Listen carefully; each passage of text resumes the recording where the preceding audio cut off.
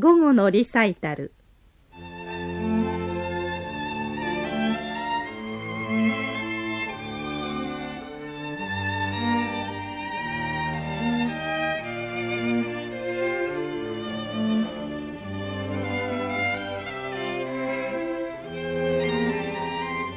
今日は長沼百合子さんのバイオリンの演奏をご紹介いたします。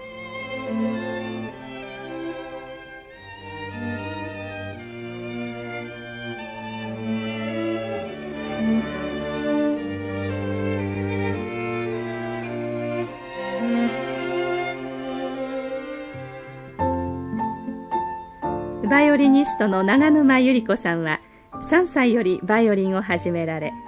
昭和48年東方女子高校音楽科に入学。52年にはフランス政府給費留学生としてパリコンセルバトワールに入学。在学中の昭和54年にはパガニーニ国際コンクールに応募第2位に入賞。おととし55年にはコンセルバトワールのバイオリン科及び室内学科のプルミエプリつまり一等賞を得て首席で卒業。昨56年にはロンティボー国際音楽コンクールで第3位またメンデルスゾーン賞を受賞されました。現在コンセルバトワールの研究科に在学される傍らパリでリサイタルを開くなど演奏活動を続けておられます。一方ピアノの鶴園四季子さんも長沼さんと同じく昭和47年東邦学園高校音楽科からフランス政府給費留学生としてパリのコンセルバトワールに留学。昭和50年同校のピアノ科室内学科をプルミエプリを得て卒業。52年同音楽院室内学研究課程を修了。また同年10月ジュネーブ国際音楽コンクール室内楽トリオ部門で銀メダルを受賞され以後ソリストとしてまた室内楽奏者として活躍されています。では長沼百合子さんのバイオリン鶴園四季子さんのピアノではじめにルクレール作曲バイオリンソナタ二丁々を弾いていただきます。作曲家のルクレールは18世紀フランスのルイ王朝時代に活躍した作曲家でフランス近代のバイオリン奏法を確立したと言われます。このソナタは遅い早い遅い早いという4つの楽章からできています。ではどうぞ。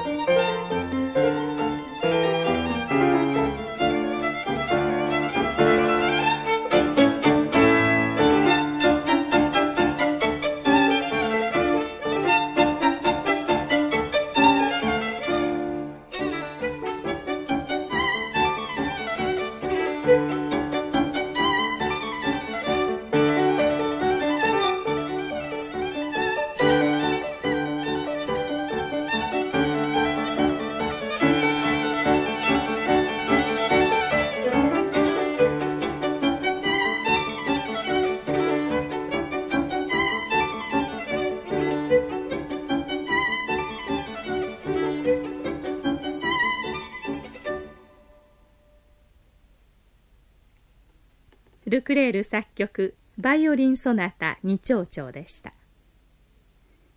長沼百合子さんのバイオリンをお聴きいただいております今日の午後のリサイタル。今度は無伴奏の曲で1931年に亡くなったベルギーのバイオリニストで作曲家でもあったイザイの作品無伴奏バイオリンソナタ第1番を演奏していただきます。これはイザイがバイオリニストのシゲティの演奏を聴いて感激してこの曲を作曲したと言われ